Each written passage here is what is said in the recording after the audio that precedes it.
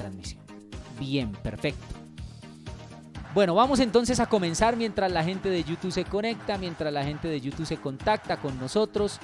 Ahí estamos comenzando y les estamos dando naturalmente un abrazo a todos ellos. Tenemos 54 personas conectadas y esto va a estar bueno porque hay mucha noticia. Mucha noticia, mucha noticia del mercado de pases. Hay mucha noticia del mercado de pases. Mucha noticia del mercado de pases. Para compartirlo. Listo, estamos perfectos a través de nuestro canal de YouTube y a través de Instagram. Bueno, papel y lápiz. Papel y lápiz. Saludos desde Madrid, Iván Zamorano. Un abrazo a Iván Zamorano y a toda la gente que se conecta con nosotros. Ya estamos a través de Instagram, ya estamos también a través de nuestra cuenta de YouTube. Perfecto, todo, todo, todo genial. Vamos a compartir el enlace a través de Twitter y de las demás plataformas. Saludos, por ejemplo, desde Florencia, Caquetá. Un abrazo a toda la gente. Dice Alejo Cardoso Díaz, tengo las últimas del Tolima, mándelas, mándelas Alejo. Los que tengan novedades del mercado, ustedes en eh, YouTube, en el chat de YouTube y también los que tengan aquí en el chat de Instagram, los que tengan novedades del mercado, vayan mandándolas, mándelas. Aquí no, no, no, yo no me las sé todas. La verdad yo no me las sé todas, pero ustedes tienen bastante información, así que vayan mandando. Bueno, comenzamos. Comenzamos.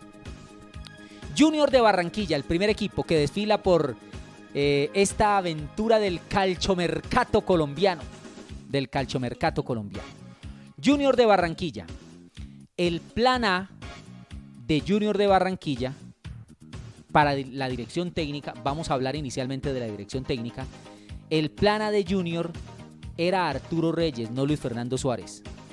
Seguro porque Arturo Reyes es más afín al estilo de juego del Junior de hoy que Suárez.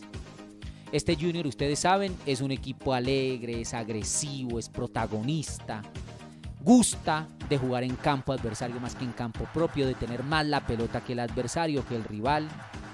Eh, y Suárez es un técnico de un corte más precavido, más prudente, de trabajar sin balón. Por eso a la gente del Junior le seducía más el nombre, le gustaba más el nombre de Arturo Reyes. Pasa que Arturo Reyes, y ojo con esta información, ojo con esta información, Arturo Reyes no aceptó. Le ofrecieron la dirección técnica del campeón de Colombia a Arturo Reyes y dijo no, muchas gracias. Seguro por su compromiso con la Federación Colombiana y las opciones que tiene de dirigir a la selección Colombia de mayores. Pero Arturo Reyes no aceptó. Junior al primero que contacta para reemplazar a Comezaña es a Arturo Reyes. Y Arturo Reyes dice, no, muchas gracias. Muchas gracias. Desestimó la oferta del conjunto Tiburón. Ojalá Suárez se adapte al estilo de este equipo y creo que lo debe hacer. Creo que Luis Fernando Suárez se debe adaptar al estilo del Junior de Barranquilla. Y no los jugadores del Junior al estilo de Luis Fernando Suárez. Bien, jugadores, jugadores. Junior sigue luchando para que continúe Marlon Piedradita en el equipo. ¿Cierto? Junior está luchando la continuidad de Marlon, que es un jugador importante por la banda derecha. Si no se puede, la alternativa de Valmer Pacheco, el lateral costeño de la equidad, es una gran opción. Víctor Cantillo y Luis Díaz se quedan por lo menos hasta junio de 2019, eso es lo que me han dicho y me lo han confirmado eh, la gente del Junior y esta es una gran noticia para, para el Junior de Barranquilla y para sus hinchas que Víctor Cantillo y que Luis Díaz se queden por lo menos hasta mitad de año y se van a quedar. Regresa a Barranquilla, eso ustedes ya lo saben, ya firmó el contrato Michael Rangel, ya les decía que Sebastián Hernández se queda también en el conjunto Tiburón. Tenía una opción del América de Cali, pero finalmente se queda, se queda en, el Junior. Michael Rangel, eh, perdón, Sebastián Hernández. Teófilo Gutiérrez no va a Colón. Colón no tiene el billete para pagar a Teófilo Gutiérrez. Pero ojo, ojo, Ariel Olan, el técnico de Independiente, ha solicitado el fichaje de Teófilo Gutiérrez. Ariel Olan, el técnico de Independiente. Hace rato lo ha querido llevar Ariel Olan. En esta oportunidad creo que uno de los nuevos que tiene Independiente se va para el Santos de San Paoli, va a quedar esa plaza libre y Ariel Olan quiere llenarla con el jugador Teófilo Gutiérrez. Entonces, podría aparecer una oferta, si es que ya no ha aparecido en las oficinas de Junior, por Teo Gutiérrez de Independiente de Avellaneda. El reemplazo de Harlan Barrera, lo que ustedes quieren escuchar, papel y lápiz, papel y lápiz, papel y lápiz. Pero venga, a, propósito de, de Jarlan Barrera, me han contado esta indiscreción. Recuerden que aquí son bombas del mercado. En este espacio tenemos bombas del mercado, indiscreciones, noticias, rumores, confirmaciones, etcétera, etcétera, etcétera. Una indiscreción. Me han contado que fue el pibe Valderrama quien influyó totalmente para que Harlan Barrera saliera de Junior y no aceptara las diversas opciones que propuso el club al jugador. Y yo me pregunto, y los quiero leer a ustedes, ¿qué opinión tienen de esto? ¿Qué opinión tienen de esto? Mi pregunta es, ¿y el pibe acaso no es que tiene tanto amor, tanta veneración por Junior de Barranquilla? Yo me pregunto, ¿no? Yo pregunto eso y haciendo estas cosas, quiero leer la opinión de ustedes. Porque el pibe, me han contado, influyó, influyó notablemente, totalmente, para que Harlan Barrera le cerrara totalmente las puertas al Junior de Barranquilla. Eso me lo han contado de buena fuente. Fue el pibe el que, mejor dicho, le dijo, señor, usted no continúa más en Junior, se va de Junior, aproveche el papayazo que le dio Junior. Junior naturalmente quiso retener al jugador, le hizo muy buenas ofertas, ¿cierto? Pero finalmente Harlan dijo no por influencia del pibe. Ojo con eso que les estoy diciendo. Ojo con eso y ya la gente está, ya la gente está hablando. Porque es que a mí, a mí lo que me, me parece sorpresivo es que el pibe de Valderrama pues se la pasa diciendo, yo cada vez que veo al pibe, que el junior, que el junior, que el junior, que el junior, que el junior, que mi amor el junior, que mi equipo el junior, que el junior, que el junior, que la berraquera, que la machera china el junior, ta, ta, ta, ta, ta, ta, ta, ta, ta. Y resulta que termina haciendo estas cosas, ¿no? Bueno, las opciones para reemplazar a Harlan Barrera, las opciones que ha barajado Junior y que maneja Junior. Hay una opción táctica. Ustedes vayan opinando. Ustedes vayan opinando hay una opción táctica. Descender a Teo Gutiérrez al centro del campo, es decir, ponerlo de Harlan y dejar de nuevo a Michael Rangel, que ha regresado a Junior. ¿Ustedes qué opinan de esa? ¿Ustedes qué opinan de esa? ¿Les gusta más Teo de punta o puede hacer la tarea de Harlan Barrera? ¿Y qué tal Michael Rangel, goleador de punta? ¿Cambiaría en algo el estilo de Junior o se mantendría? Naturalmente con Luis Díaz por un lado, con James Sánchez por el otro, llegando de atrás eh, Víctor Cantillo, la salida de Marlon si se queda, o de Valmer Pacheco si llega finalmente, Fuentes también por el lado izquierdo. ¿Ustedes qué opinan de, esta opción táctica que maneja Junior y que ya maneja Luis Fernando Suárez eh, para reemplazar a Yarlan Barrera? Teo de Harlan, unos metros más atrás, 10-15 metros más atrás, y de punta el jugador Michael Rangel. Igual la gente de Junior reconoce que necesita un jugador con las características de juego de Harlan Barrera. Eso lo reconoce la gente de Junior. Y que va a llevar un jugador de esos. ¿Cierto? ¿Y por quién ha preguntado el Junior? Papel y lápiz. Papel y lápiz. Papel y lápiz. Y ustedes me van a decir qué opción les gusta o qué jugador de estos que les voy a nombrar por los que ha preguntado Junior para reemplazar a Yarlan Barrera es el reemplazo ideal del número 10. ¿Listo? El primero, Juan Pablo Nieto. Claro que Nacional no lo presta, pero Junior ha preguntado por Juan Pablo Nieto, que jugó la última temporada en 11 Caldas de Manizales. Juan Pablo Nieto. Ustedes me van diciendo a qué jugador de estos que yo les voy nombrando ven con las características con el juego para reemplazar a Teófilo Gutiérrez. Nicolás Benedetti, papel y lápiz. Por estos jugadores Junior ha preguntado. Junior ha preguntado. Nicolás Benedetti, el Deportivo Cali pide 8 millones de dólares. Creo que es impagable para el medio colombiano, pero sería una gran opción. Nicolás Benedetti. Sherman Cárdenas. Pasa que Sherman Cárdenas arregló por tres años con Atlético Bucaramanga. Pero también ha preguntado Junior por Sherman. Santiago Montoya Muñoz. Pasa que lleva seis meses sin jugar Santiago Montoya. Johandri Orozco. La situación de Johandri Orozco es que tiene líos contractuales. Ojo con los líos contractuales de Johandri Orozco. Johandri Orozco, el jugador venezolano, y lo ven en Junior de Barranquilla más como un extremo que como un nexo, como un enganche, como un jugador de asociación por dentro. Pero eh, Johandri Orozco eh, es un nombre que se tiene ahí en la lista. Este, Brainer de Alba. Brainer de Alba, el calidoso de la equidad, un jugadorazo. Un jugadorazo. La rompió con equidad en el torneo pasado. Claro que me dicen de Barranquilla que aún no es el tiempo para que regrese eh, a la ciudad de Barranquilla. Que aún no es el tiempo para que Brainer de Alba regrese a la ciudad de Barranquilla. Pero es un jugadorazo. Futbolísticamente hablando, para mí es una gran opción para Junior. Y ya lo conoce Luis Fernando Suárez. Ya lo tuvo Luis Fernando Suárez. Brainer de Alba. Apunten este nombre. Apunten este nombre porque en Junior preguntó. Roger Torres, un zurdito calidoso que jugó en Alianza, que es de Alianza realmente. América lo pretendió, Águilas también, América ya desistió de él, creo que por el costo.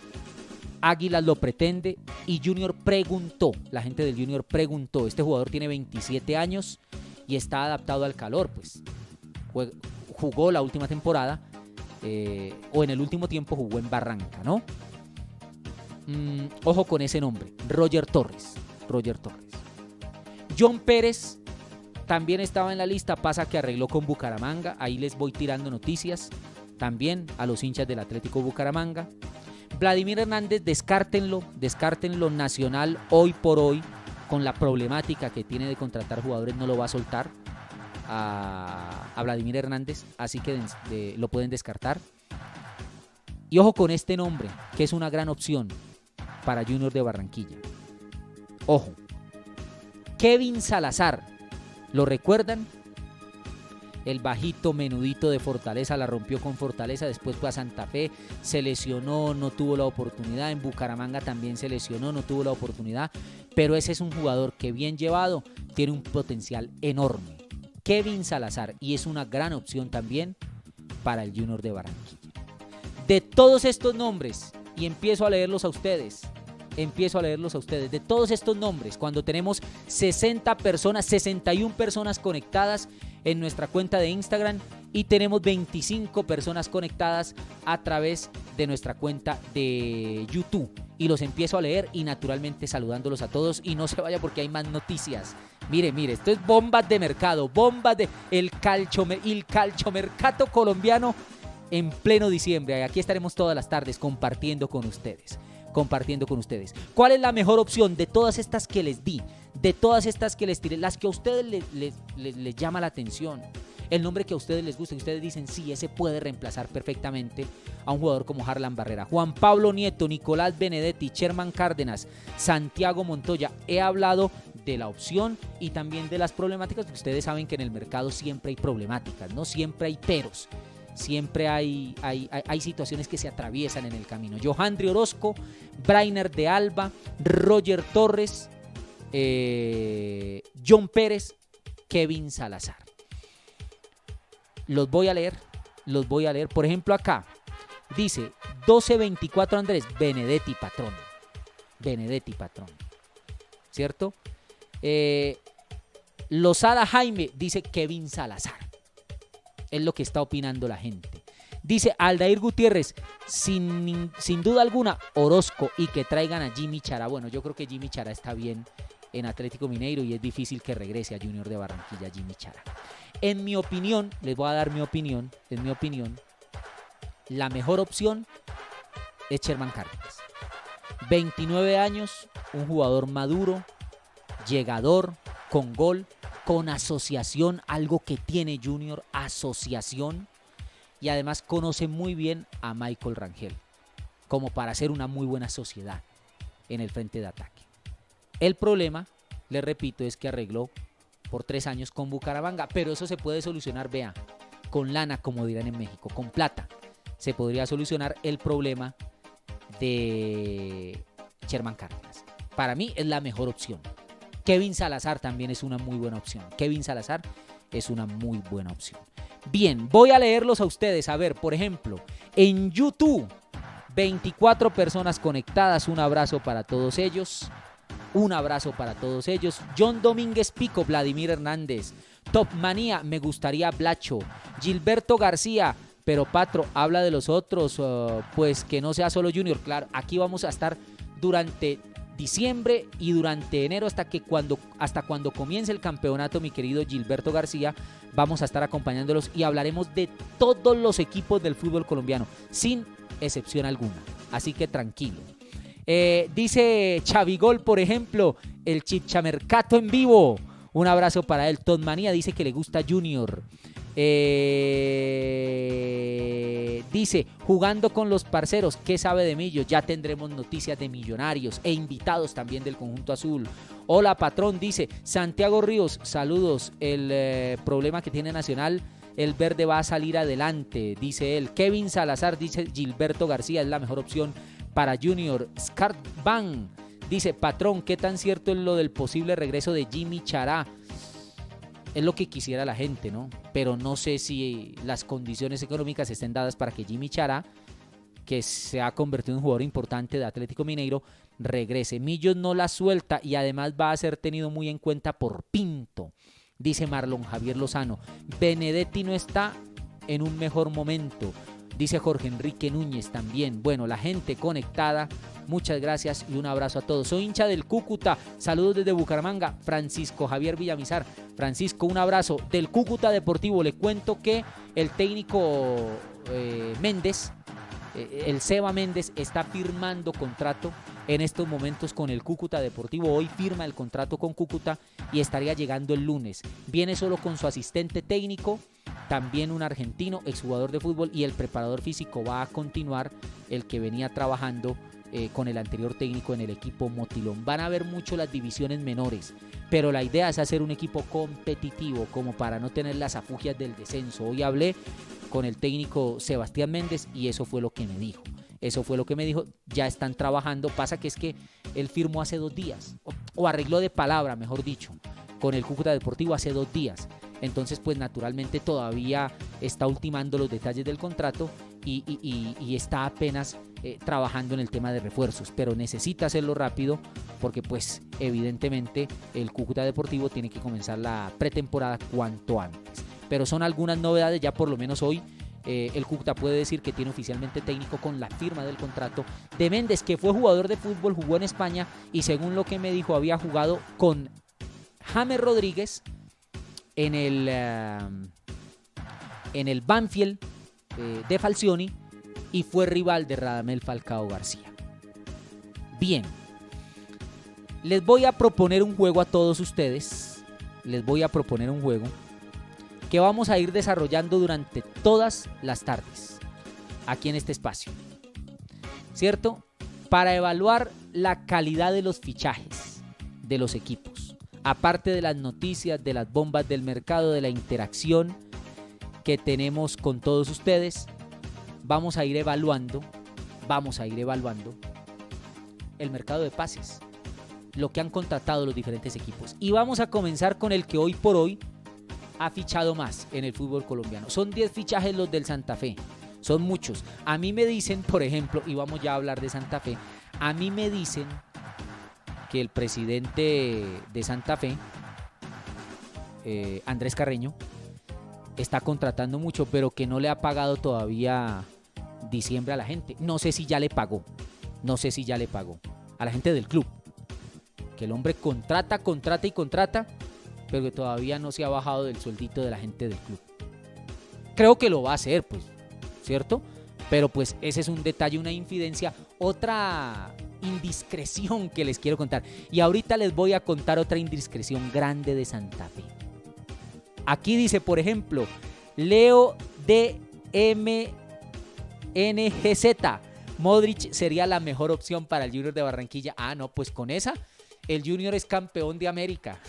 Si trae si se queda Teo con Rangel y trae a Luca Modric, Junior pelea el título de la Copa Libertadores de América. Dice Camilo, Messi ya firmó con Junior, celebra lo curramba. Bueno, un abrazo para él. La gente también saboteando un poco. Eh, bueno, entonces el, el, ejercicio que les voy a proponer para que lo hagamos todos, el ejercicio que les voy a proponer para que lo hagamos todos, es el siguiente. Vamos a evaluar el mercado de pases, porque no es cuestión de cantidad, es cuestión de calidad. Y a cada jugador de cada equipo le vamos a dar una calificación. 5 si es un fenómeno. Por ejemplo, el Junior contrató a Lionel Messi, ¡pum! fenómeno. 5.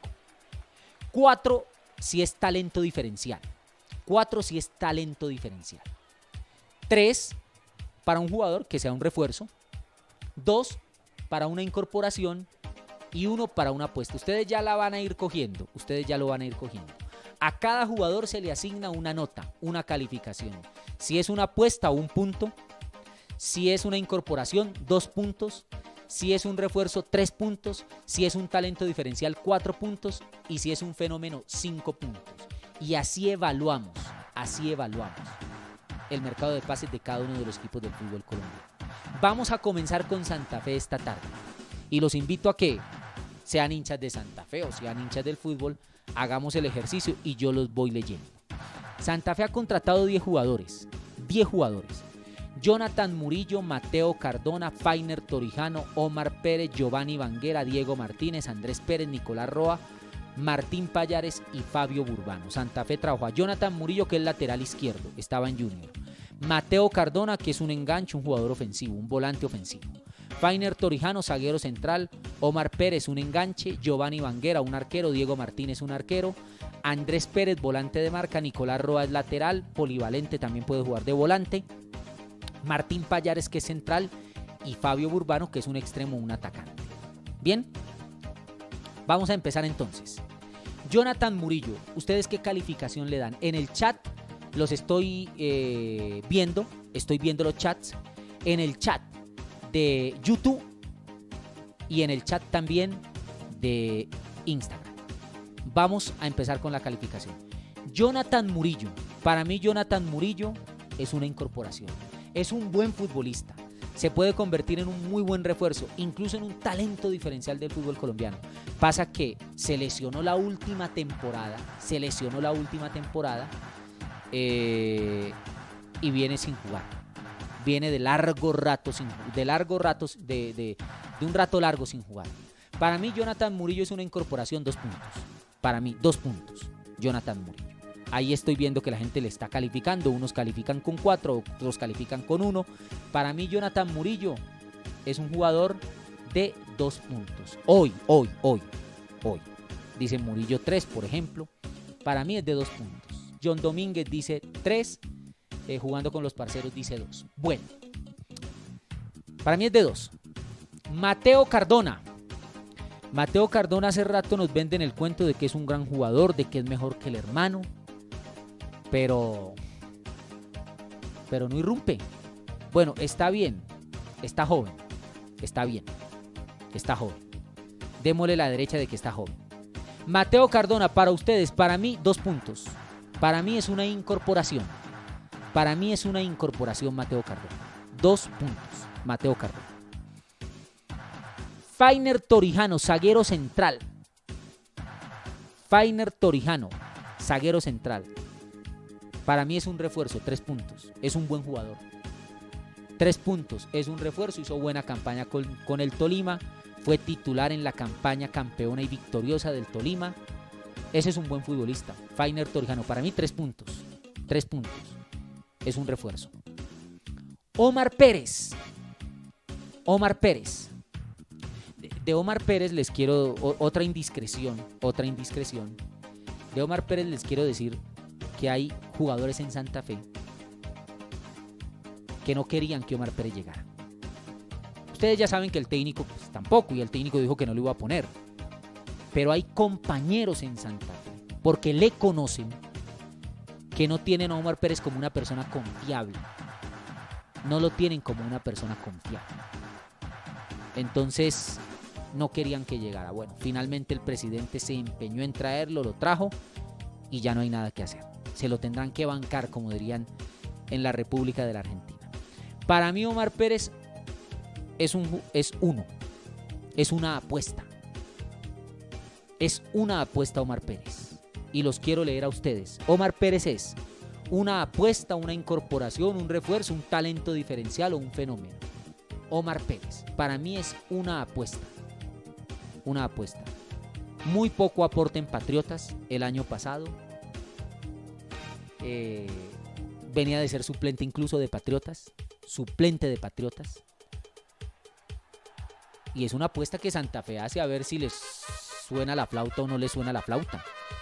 Para mí es una apuesta. Yo lo veo como una apuesta. En Santa Fe lo ven como gratitud para que se retire en el club y demás. Yo veo a Omar Pérez como una apuesta.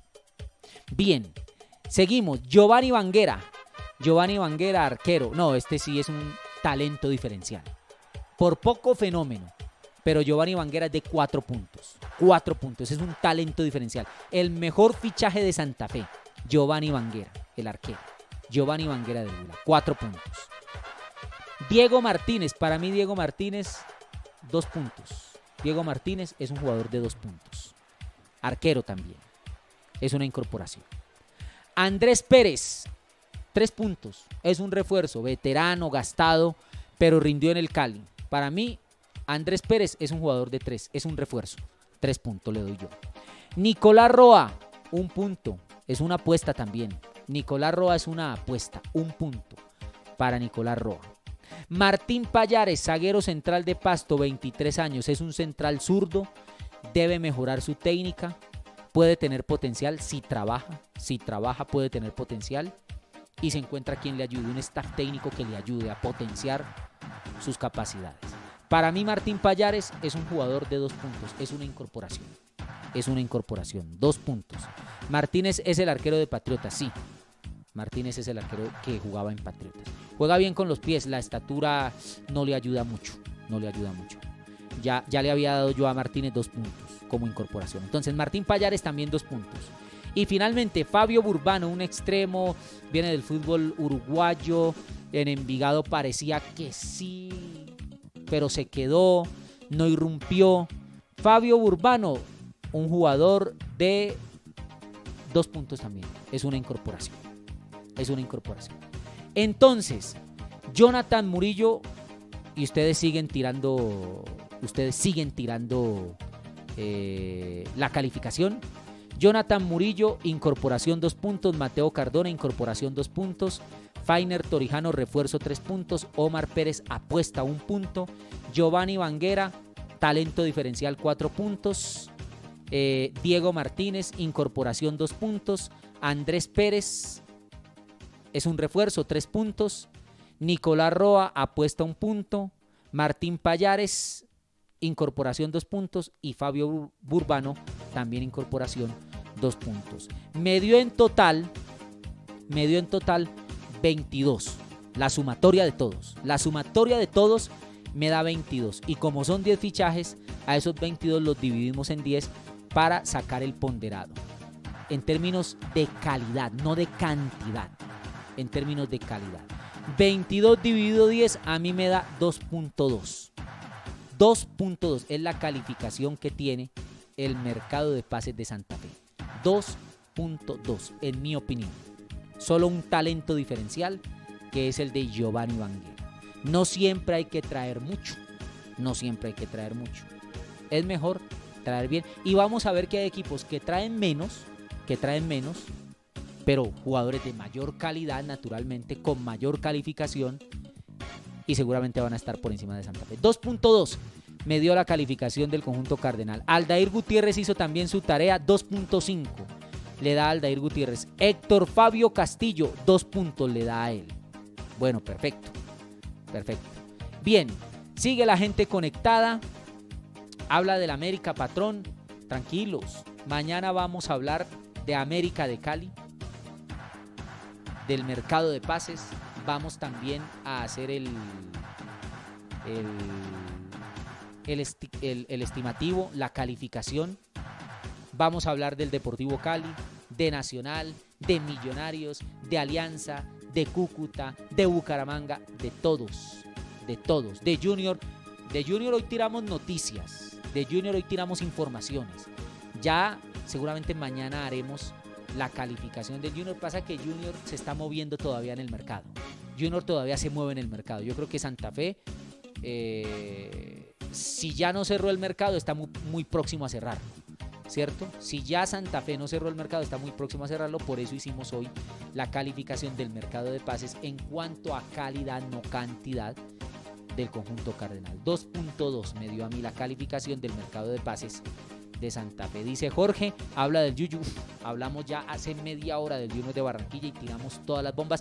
Igual esta transmisión queda ahí, tanto en Instagram como en YouTube, para que la gente la comparta, para que la gente eh, la sintonice eh, y para que la gente eh, sigue que no pudo en vivo por X o Y razón verla, pues la pueda sintonizar en cualquier instante.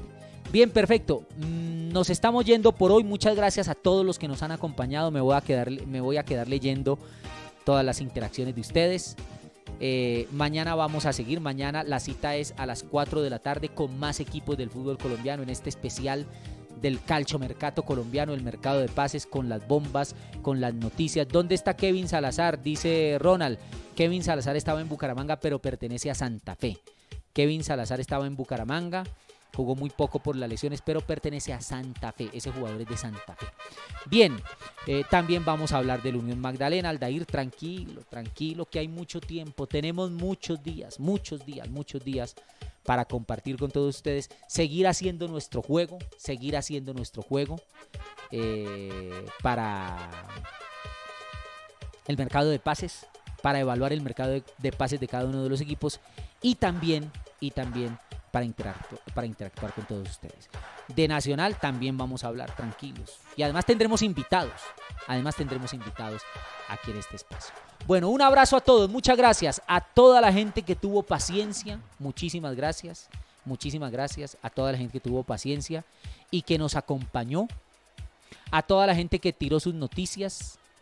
A toda la gente que tiró sus noticias también, sus informaciones. A toda la gente que interactuó que participó. En YouTube, 28 personas conectadas.